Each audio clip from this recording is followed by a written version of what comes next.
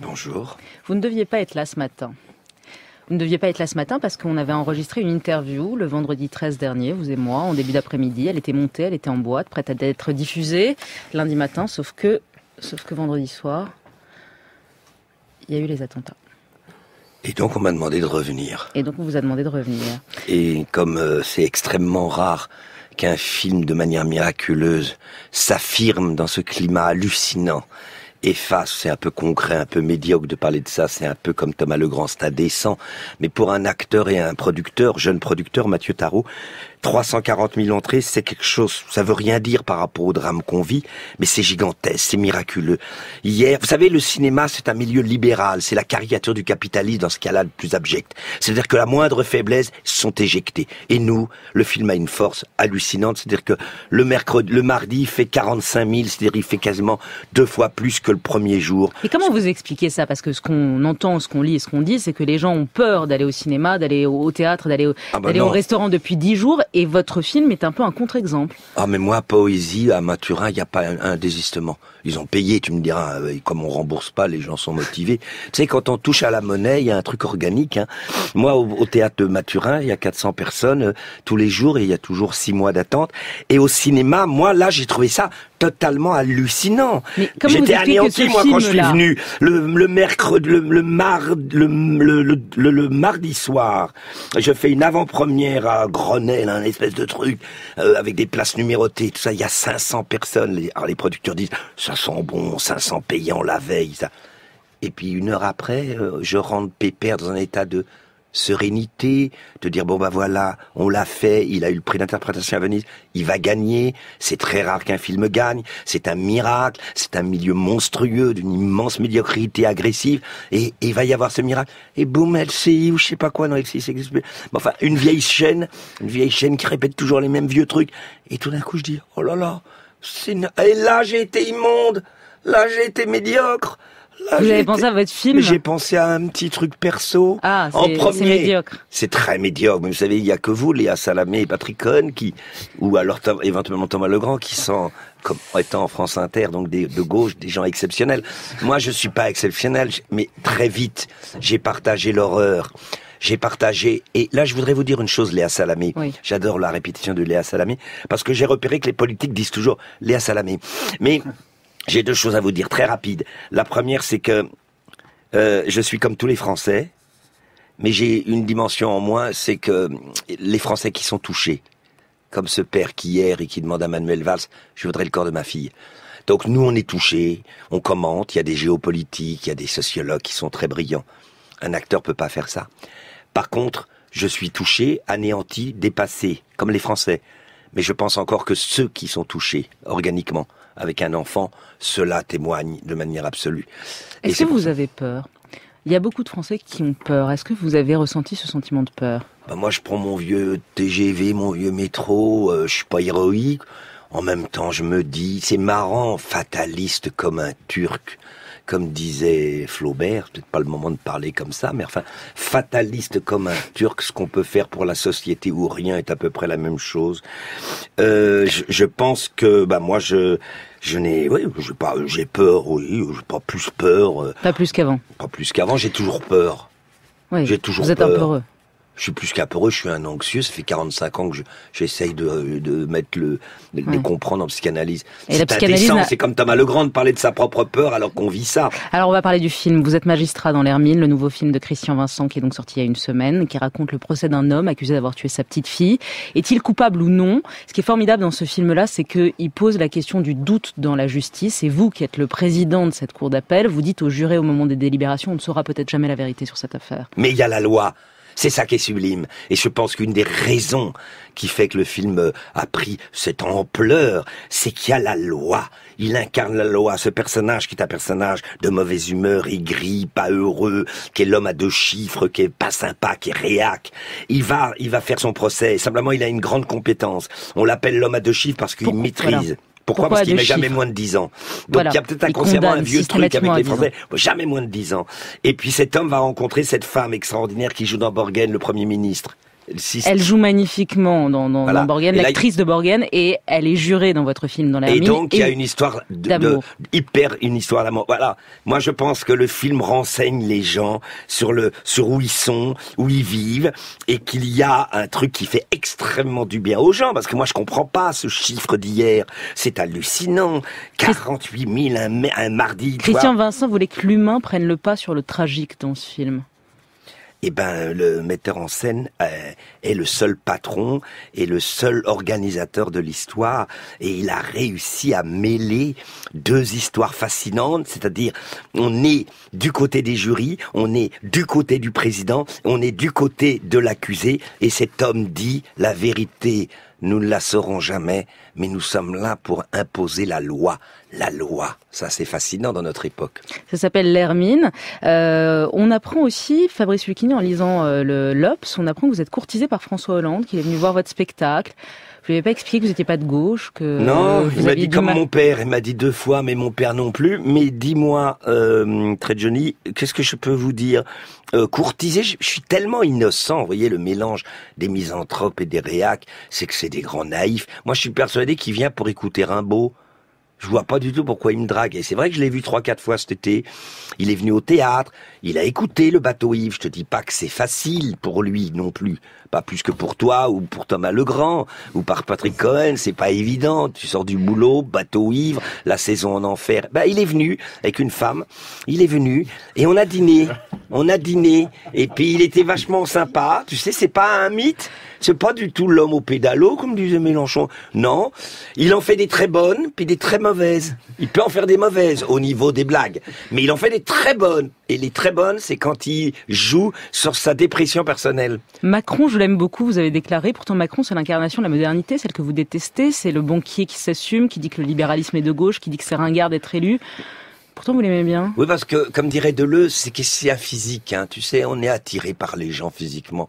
Tu sais, que Deleuze dit toujours, un homme te dit passe-moi le sel et tu comprends rien, et un homme te parle de Kant pendant une heure. Si organiquement et physiquement tu l'aimes, eh ben t'es séduit. Il vous a parlé de Kant? Euh, Il m'a beaucoup parlé de Camus. Il a pas du tout les mêmes mythologies que moi. Il connaît pas bien Nietzsche, mais il connaît pas bien Schopenhauer. C'est un optimiste. Moi, ce que j'aime en lui, c'est que c'est un personnage stendhalien très ambitieux Oh là là, qu'il est ambitieux, il en veut. Moi, je suis en fin de pige, j'ai 64 ans, je suis l'homme à deux chiffres. Je regarde toute cette agitation du social de manière un peu pathétique et méprisable. Je les trouve touchants. C'est des animaux. Vous savez, Molière dit les acteurs sont des animaux. Je peux vous dire un truc, moi, les, politiques que je reçois au théâtre, c'est des animaux hallucinants, très très bizarres. Ils ont dû être très malheureux dans leur enfance. Fabrice Lucchini, le film s'appelle L'Hermine. Euh, il est en salle depuis une semaine. La pièce au Maturin s'appelle Poésie. Notre entretien réalisé avant les attentats est à voir aussi sur le site internet de France Inter, je vais la mettre, où vous parlez des femmes, de leur sein, de la psychanalyse et de Mein Kampf, d'autres choses. Merci à vous d'avoir été avec nous ce matin. Bonjour Fabrice Lucchini. Bonjour Léa Salamé. Vous êtes donc un magistrat dans L'Hermine, le nouveau film de Christian Vincent qui sort ce mercredi. Vous avez remporté le prix d'interprétation à la Mostra de Venise pour ce rôle. Est-ce que ça vous a surpris d'avoir été récompensé? Est-ce que vous avez halluciné quand ils vous ont appelé en vous disant c'est vous oui, parce que je suis pas du tout habitué au prix. J'en ai quasiment jamais eu. Je crois que j'ai eu un, second rôle, un César, il y a 20 ans pour un film de Claude Lelouch sur l'histoire d'une turlute dans une tente. Euh, et puis pendant 20 ans ou 25 ans, j'ai rien lu. J'en ai pas de Molière, pas de César, pas de prix pas de Molière. Non, non, ça c'est étonnant, mais c'est en même temps. C'est étonnant le Molière, non? En tout, oui. En tout cas, je suis pas du tout habitué aux récompenses. Comment vous expliquez ça? Comment vous expliquez que vous, vous, faites, euh, vous faites salle comble au théâtre, euh, vous faites souvent salle comble au cinéma également, vous faites les délices de, la télévision de la, et de la radio et vous, n'êtes pas récompensé par vos pères. Comment vous expliquez ça? Ils sont jaloux? D'abord, il faut faire des séances gratos pour que tous les votants viennent et je n'aime pas faire les séances gratuites parce que c'est toujours très mauvais le public gratuit. Il n'y a rien de mieux qu'un public payant. Après 40 ans d'analyse, on, on maîtrise le sujet. Et peut-être que euh, d'une part, je ne fais pas venir les votants et d'autre je pense à la phrase de Marielle. Euh, il m'avait dit une fois, moi je ne suis pas un acteur de tombola. J'ai jamais, j'ai toujours trouvé absurde. On imagine dans une grande année d'après-guerre qu'il y ait Jean Gabin, Jouvet, Harry Bord et Bernard Blier nommés au César, qui auraient la folie de penser qu'il y en a un mieux que les autres. C'est les, comme dit Woody Allen, c'est les voitures qui vont plus vite. Il n'y a mm. pas d'acteur qui est mieux qu'un autre acteur. Non, pas. Mm-hmm. c'est pas ça notre mm-hmm. logique. La logique n'est pas une logique de compétition entre acteurs. C'est une rencontre avec un rôle. Et d'ailleurs, il n'y a pas de grands acteurs, il y a des grands rôles. Mais ça vous a fait plaisir quand même le rôle, le, le, le, prix à la J'étais en train de tourner avec Bruno Dumont et voilà qu'on me dit il veut te parler. Je m'attends à une mauvaise nouvelle parce que moi je suis très euh, très très flippé comme nature. Alors je dis qu'est-ce qu'on va m'annoncer? Juste une parenthèse rapide. Schopenhauer, il dit que quand on a 20 ans, quand quelqu'un sonne à la porte, on est super content. Et puis quand on a 50 ans, quand quelqu'un sonne à la porte, on se dit quelle mauvaise nouvelle va arriver ou quel raseur va venir m'emmerder. Et eh ben moi, je suis maintenant 64 ans, donc je suis complètement dans Schopenhauer. Donc quand on me dit ils veulent te parler, je dis ça y est, j'ai déconné, etc. Et on me dit t'as le truc. J'ai eu, ça m'a rien fait. J'ai eu des mécanismes de défense pour être inapte à la joie et à la jouissance d'une récompense. Bon, le film de Christian Vincent, c'est l'histoire d'un procès, celui d'un homme accusé d'avoir tué sa fille. On suit les plaidoiries, les délibérations des jurés. On suit aussi les hésitations. C'est ça qui est formidable dans le film, euh, c'est qu'il interroge sur la nature humaine. Il pose la question du doute dans la justice. Et d'ailleurs, vous, qui êtes le président de la cour d'assises, à la fin, aux jurés, au moment des, des délibérations, vous leur dites peut-être que vous ne connaîtrez jamais la vérité sur cette affaire-là. C'est aussi la question du doute dans la justice qu'il dit. Alors, la vertu du film, la vertu du film, parce que c'est très mauvais quand les acteurs disent du bien de leur truc, mais la, vertu, c'est que on, est renseigné sur une humanité. Le mot est excessif, mais le procès est un prétexte, on s'en tape. C'est pas un film sur la justice, sinon on se ferait chier. C'est un film où tout d'un coup, euh, il y, a, y a euh, un procès, et puis il y, y a, des êtres humains qui nous écoutent là ce matin. Il y a des êtres humains qui sont obligés d'aller quand euh, on vous demanderait, vous Léa Salamé, vous êtes obligés d'abandonner, on n'est pas couché, et France Inter, parce que vous êtes vous diriez oui, mais moi j'ai un... Non, vous êtes obligé, sinon vous payez une énorme amende. Donc, les Français ont une image de la justice, ils voient Taubira trop laxiste, ils voient ça machin. Mais la justice, c'est pas ça du tout. C'est des êtres humains qui se confondent. Christian Vincent, il est passionné par l'idée de réunir plein de classes sociales. Et, donc, euh, euh, je ne comprenais pas tout ce que je disais. Moi, j'ai été voir un procès. Euh, vous avez ouais, une semaine, vous êtes allé oui, suivre. Oui, avec Olivier Laurent. C'était un monsieur qui avait étranglé un homo. Euh, parce qu'il y a beaucoup de crimes homosexuels, parce que les mecs qui viennent michetonner pour l'argent et, et, et, pratiquer le sexuel avec le cum, et eh ben à un moment, au moment de faire, il y a une haine d'eux, une haine de l'acte, et ils étranglent, paraît-il, c'est ce que m'a dit mm. le... Et j'ai été sidéré de la puissance de civilisation de notre pays. Parce que les gens font, disent beaucoup de mal, disent que tout va mal, machin. Sauf qu'on est comme un pays super civilisé. Moi, quand j'ai vu le mec rentrer dans le box, mon opinion, qui suis quelqu'un de rapide, sans nuance, dit lui, ça sent mauvais, c'est évidemment, il l'a niqué le mec. Mais on lui a laissé une semaine au bonhomme, avec des avocats, avec des gens qui ont eu leur opinion.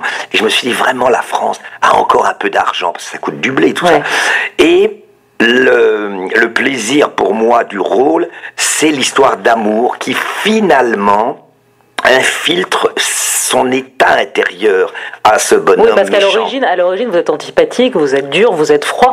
Vous n'êtes pas méchant d'ailleurs, vous êtes indifférent. Vous êtes indifférent au monde, vous êtes indifférent à la, à la misère euh, humaine, et puis, et puis vous allez tomber amoureux de cette femme euh, qui est jouée par euh, magnifiquement d'ailleurs par l'actrice danoise de la série Borgen, qui s'appelle en vrai Sitze Babette Knudsen. Vous me corrigez? Ben, vous avez totalement raison. Et juste un mot sur elle. Elle libère l'horreur qui règne autour des femmes. Et Dieu sait que moi je suis un, hétéro bas de gamme et que je crache pas sur les réalité avec les bimbos avec des paires énormes, avec des strings, avec les fesses. On est sur France Inter. En tout cas, je regarde. On est le matin. On est le matin, mais ils regardent ça, France Inter, à un moment, ils regardent les, les nanas avec des, des, casquettes en arrière et puis une énorme comme ça. Mais là, elle, elle montre qu'une femme de 45 ans, qui n'est pas cliché sexy, est illuminant. Elle illumine de sensualité parce qu'elle n'est pas le cliché, je vous répète, la paire énorme, etc. Donc, il y a cette histoire d'amour. Et il va être sauvé par cette femme-là. moi, je ne sais pas trop comment expliquer en réalité le charme qu'opère ce film. Je suis incapable de vous dire. C'est la subtilité, peut-être, qui, qui est. C'est en demi-teinte. Je ne sais pas du tout comment, comment les gens vont réagir. Ce que je vois là, c'est bon accueil de la presse. Très bon accueil de la presse, on va voir. Et puis prix du scénario également, il n'y a pas que vous qui avez été primé, prix du scénario à la Mostra de Venise. Euh, ça se passe à Saint-Omer dans le Nord, on pense évidemment au procès d'Outreau. Euh, lors de la conférence de presse à la Mostra de Venise, vous avez expliqué aux Italiens, aux journalistes italiens, ce que c'était que le Nord de la France. Vous avez dit une région où la République a disparu, un coin, un coin de grande misère sociale, où les gens boivent beaucoup et votent Front National. On n'est pas loin de Catherine Deneuve qui disait de Dunkerque, c'est tristesse, alcool et cigarettes. Hein. Léa Salamé, c'est vrai qu'on dit beaucoup de conneries et c'est formidable que vous me disiez ça parce que d'abord, si j'ai blessé les gens, je m'en excuse parce que c'était très bête de ma part. On est obligé de faire le malin, on fait des trucs, alors on fait des raccourcis. J'ai été couillon parce que je suis pas Frédéric Nietzsche, moi. Moi, je suis un couillon et de dire que le Nord, pour faire une métaphore, parce que j'étais épuisé, que c'était abandonné de la République, parce que j'ai l'impression que tout est abandonné de la République en général, moi. Je trouve que les, euh, je, trouve que je, que la, la France est abandonnée de la République. Je sais pas pourquoi je dis ça d'ailleurs, parce qu'en réalité, je connais rien. Vous allez vous excuser ensuite. Euh, bah, je m'excuse là ce matin. Je dis quel con, mais quel con. Je l'ai dit, j'assume de l'avoir dit, mais quel couillon. Et puis en plus, qu'est-ce que c'est pas que ça le Nord, c'est ce que vous voulez dire? Oui, mais je veux pas non plus tomber dans. Euh, ils ont dans le bleu, dans, ils ont les, yeux de le bleu qui manque à leur décor. Les gens du Nord ont dans leurs yeux le bleu qui manque à leur décor. C'est vrai qu'ils sont chaleureux, exceptionnels. C'est vrai qu'il y a quelque chose de convivial, immense. Mais vous n'allez pas, devenir politiquement correct là ce matin. Non, pas trop politiquement correct, mais en tout cas confus d'avoir dit une connerie. Bon, euh, dans ce film, vous êtes euh, juste, vous êtes sobre. Lucini sobre, c'est possible. Bah écoutez, je sais pas, manifestement, quand... Euh, là, là, là... Quand vous faites ça, vous êtes primé. Là, il y a des preuves. Voilà. Le succès de Poésie, le spectacle où vous lisez Rimbaud, Baudelaire, La Biche ou Valérie au Théâtre des Mathurins ne se dément pas. C'est simple, c'est complet jusqu'en février prochain. Le succès est certes un malentendu toujours. Mais je suis obligé de reprendre une autre salle qui s'appelle le Théâtre Montparnasse à partir du 7 mars où il y aura 900 personnes. Parce que là, on peut pas tenir dans les 450. C'est dur, hein, le succès. Bon, c'est ce qu'il faut, c'est pas le prendre à son compte. Parce que vous savez, si vous écoutez ce que vous disent les gens, je pense que tout est, tout, l'âme n'est chaude que de son mystère, disait Céline. Pourquoi les gens viennent Alors, ils peuvent te répondre parce que c'est des fans de Rimbaud, des fans de Paul Valéry? D'autres te disent, oh mais non, mais c'est toi qui viens de voir bah, c'est plus compliqué que ça et je n'ai pas de réponse. Est-ce que tout de même vous voyez pas un, succès, un lien entre le succès de, de, votre spectacle poésie et le succès en librairie de tout ce qui est fondamentalement anti-moderne et mécontemporain, Finkelkraut, Welbeck, et vous qui lisez les, les, textes euh, J'ai normalement, je m'attendais pas à ça, mais c'est vrai que vous, vous êtes dans le vous êtes traversé par le souci sociétal, c'est-à-dire comprendre la société dans laquelle on est. Moi, je vais vous choquer, mais je pense qu'il y a un côté identitaire dans mon affaire. C'est-à-dire Bah, il y a un côté, pourquoi les gens viennent écouter la langue française? Moi, je crois pas qu'ils viennent me voir, moi, uniquement. Ils viennent parce qu'il y a quelque chose de l'ordre de... Ce serait quoi d'être euh, français? C'est peut-être une langue.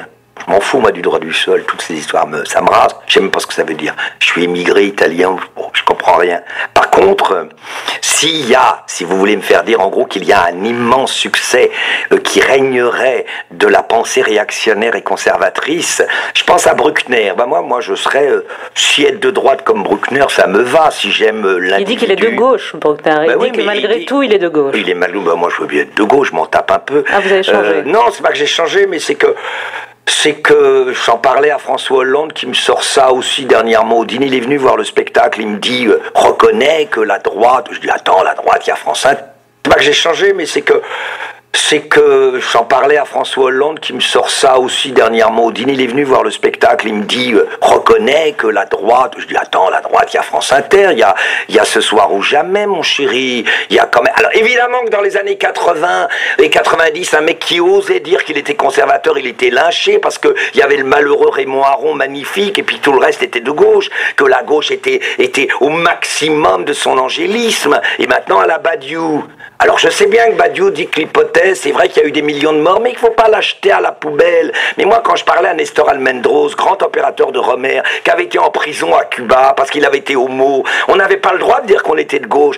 Alors la gauche a régné gigantesquement. Oui, mais elle règne plus aujourd'hui. Elle règne un peu moins. Mais regarde cette chaîne. Intellectuellement. Cette chaîne, mon chéri, France Inter, on peut pas dire qu'il y ait la démonstration de Finkielkraut tous les jours. oui, mais il est, invité, Finkielkraut, comme les autres. France comme Culture, vous. on va faire Oui, mais moi, vous, vous pensez que je suis un énorme réac. Moi, je non, suis je pense pas. Je vous, je vous, pose la question. Non, c'est vrai que moi, je crois pas au lendemain qui change. Je crois pas que l'humanité. Vous pensez pas que l'homme est bon, surtout? Non, mais je pense pas qu'il est bon. Non, bah faut lire Freud et Nietzsche quand même. Non, non. Je pense que c'est une énorme erreur de la Révolution et de et de et, du, et de Marx qui s'est planté totalement. Il y a il y a une, un, individu est construit en tant qu'individu et non pas qu'un qu'un produit du collectif. Et d'ailleurs, si la gauche a perdu quelque chose, c'est qu'elle a abandonné l'individu.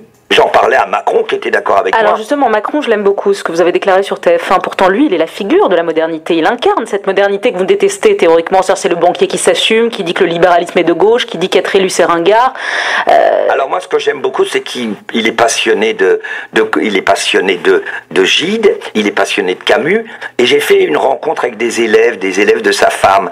Et j'ai vu un, un homme traversé par la passion littéraire. Moi, si les hommes politiques étaient traversés par la passion littéraire, par ce, par comprendre ce qu'est le génie français, c'est-à-dire cette merveilleuse chose qu'est la langue, il peut être drôle. Ceci dit, euh, vous savez, pff, maintenant on est là. Euh, ça veut plus rien dire de gauche de droite. Au bah, certainement que ça veut dire quelque chose. Parce ah. que regardez, il y a des comiques spécialisés dans la dans la gauche, dans l'indignation qui sont tous contre la guerre, contre les méchants capitalistes du monde. Il y a des gens qui pensent que la société est irrespirable. C'est compliqué d'être de gauche, très compliqué, parce que si tu dis tout ça, faut que tu sois comme en 68. Moi, j'ai été trotskiste en 68. J'ai vendu lutte ouvrière face à la bourgeoisie qui maintient le joug sur les forces ouvrières et prolétariat. Et aujourd'hui, vous êtes devenu bourgeois. Maintenant, je suis devenu tout un petit bonhomme, un petit bourgeois qui a peur quand ça sonne à sa porte. Oh là là, je suis pas généreux. Oh, je suis pas génial comme tous les grands acteurs de gauche. Moi, je suis mesquin, je suis petit, médiocre. C'est ce que vous avez dit à François Hollande, parce que donc, quand on lit la presse et quand on lit le l'Obs cette semaine, on, on découvre qu'il vous a séduit, qu'il est venu vous draguer un petit peu à, je, à la fin du théâtre. Je suis tellement naïf que j'ai pas l'impression qu'il me draguait. T'as vu la naïveté? C'est hallucinant. Euh, je lui ai dit, d'abord j'ai été touché qu'il vienne au théâtre. Le lendemain, il y a eu Pécresse, tu vois, le côté présent. Et avant, il y avait Sarkozy. Et Sarkozy qui est venu au moins 8 ou 10 fois. Eh bien, je vais vous dire, euh, Hollande, euh, ce qui est étonnant, c'est qu'il te donne la sensation que t'es que t'es important. Ça, c'est un grand truc de charme. Il te donne la sensation que... C'est les politiques, c'est les... Puis tu comprends, il parle de son père, qui est un gros réac, donc il, il a pas l'air d'être, tu sais, le catéchiste de gauche, il a l'air d'être malin, il a l'air... Et il est très attachant, il peut en sortir des très bonnes, des moyennes, c'est pas non plus, je vais voir demain comment il va s'en sortir. Et puis ce qui me plaît, c'est pourquoi il phrase comme ça. Je vais lui en parler encore. Je comprends pas comment ces hommes politiques phrasent. Vous savez, mon métier, c'est de phraser. Mmh. C'est-à-dire que c'est un très gros travail de phraser. Eux, ils ont quand même moins, c'est des textes moins durs que Paul Valéry. Hein. Ils doivent dire, par exemple, la République n'abandonnera aucun lieu de culte. C'est assez simple, ça. Et pourquoi ils parlent en disant la République et là on est déjà sorti dehors, n'abandonnera jamais. Pourquoi vous allez, vous allez lui apprendre à phraser? S'il a un petit salaire, à moi, tu sais, moi ah je oui, ne travaille vrai, jamais gratos, moi, tu sais. Plusieurs voix s'élèvent, Fabrice Lucchini, notamment celle de Jean-Luc Mélenchon, pour dénoncer la publication annotée, la publication critique de Mein Kampf, qui tombe dans le domaine public. Est-ce qu'il faut publier Mein Kampf? Là, c'est des grosses opinions. Est-ce qu'il fallait euh, sortir le Lucien Rebattet? Oui, c'était la question d'après. Est-ce qu'il faudrait mais... sortir les pamphlets antisémites de Céline? Qui vont tomber dans le domaine public, effectivement. Oui, et donc euh, l'école des cadavres, bagatelle pour un massacre. J'avoue que je n'ai pas d'opinion. Les gens le lisent, hein, manifestement, c'est les bouquinistes. J'ai pas d'opinion. Mais ce qui est merveilleux dans les gens de gauche, c'est qu'ils ont toujours des opinions. Ils vous, flottent vous jamais. Vous, vous n'avez pas d'opinion bah Non, parce que moi je flotte, on va mourir les enfants. On va mourir. Pourquoi vous vous êtes enivrés de, de vous-même? Les, les, les, gens sont enivrés. Alors la droite est méprisable parce qu'elle est, elle est certaine de sa classe, la méprise. Mais la gauche qui a des réponses à tout. Moi j'aime que la psychanalyse, le flottement, les séances qui n'en finissent pas. Ça fait 40 ans que vous faites une psychanalyse Oui, j'ai même battu Woody Allen, j'ai deux mois de plus. Ouais. À la fin du film, votre assistante vous demande, vous n'êtes pas, elle vous demande, mais enfin, vous n'êtes pas heureux, et vous lui répondez, oulala, là là, je ne suis pas si ambitieux. Si je vous pose la question, vous vous répondriez oh, la même chose? tarte, Une tarte à la crème. Oui, c'est vrai que c'est une tarte à la une crème. tarte à la crème. On n'est pas là pour ça. Ce qui est beau, c'est prendre la moto. Là, j'ai la chance d'avoir un peu d'argent. Je dois le dire à Hollande, je gagne un peu bien ma vie, je suis désolé, c'est ma faute, c'est ma faute François, mais tu m'en prends 75%. Ce qui me fascine, petite parenthèse, les gens sont en train de haïr tout le monde en disant que les riches ne paraissent... Mais oui, ils ont vu que les gens qui ont un peu de pognon ne payent pas d'impôts. Mais oui, ils ont vu ça. C'est un système magnifiquement redistributif. On n'arrête pas d'en donner, j'adore ça, moi je suis comme vous Aimez, vous aimez donner vos oh, Moi je suis pas comme Ruquier, je vais pas me faire à dire j'adore, mais même Ruquier doit payer 70% de son salaire, donc il en a un paxon, c'est une ambitieuse, mais la vieille Ruquier, mais je l'adore en plus. Mais euh, bah oui, pourquoi pas la mettre au féminin comme dans le temps Je déteste maintenant. Moi, j'adorais les homos à la grande époque quand ils m'ouvraient la porte en me disant "Venez, Fabrice, entrez, il n'y a pas de derrière-pensée." Fabrice Lucchini était notre invité. Le film s'appelle L'Hermine. Vous êtes pris d'interprétation à la Mostra de Venise. Merci à vous d'avoir été avec nous.